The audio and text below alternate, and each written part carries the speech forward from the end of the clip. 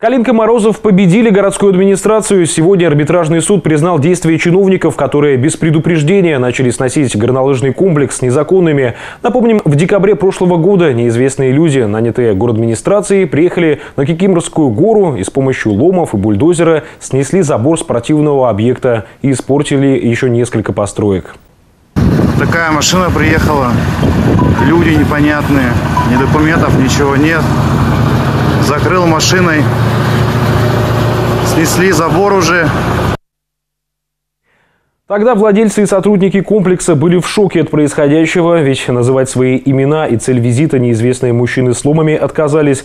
После приезда полицейских ситуацию прокомментировали в город администрации, сказали, что владельцы школы зимних видов спорта занимаются самоуправством на муниципальной земле, а, а территория спорткомплекса – природоохранный объект, на котором якобы обнаружена большая гора мусора. Из-за неубранной свалки мэрия продолжила сносить комплекс, но уже по ночам, пока никто не видит. Руководство Калинки Мороз Морозов решила побороться за свою спортивную школу в суде. Сегодня стало известно, что арбитражный суд признал снос горнолыжного объекта незаконным. Спортобъект на Кикиморской горе продолжит работать на своем месте.